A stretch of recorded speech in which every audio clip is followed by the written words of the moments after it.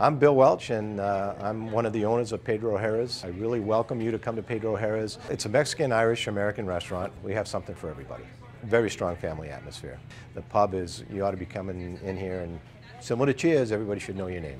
The shepherd's pie is made with lamb, straight from an Irish recipe. Very good. One of our most popular sellers, obviously. Nachos, those are completely covered with food from the bottom to the top. Not just the top that you'll get at a lot of places, but from the bottom to the top. Our burgers, I think, are second to none. Our customers really like the variety. I think they like the amount of food, so we really want to make sure that you come in here and that you don't go away hungry. 134 Main Street, we're pretty easy to find, very centrally located right next to the Androscoggin River. Our website is uh, www.pedrooharas.com.